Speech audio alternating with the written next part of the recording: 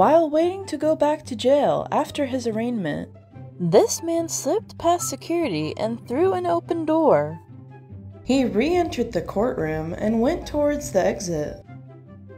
He then removed the prison issued shirt and used it to hide his handcuffs. Now heading down a hallway, he ditches his prison issued orange shoes and makes a full on run for it. Making his way through the lobby and exiting straight through the front doors.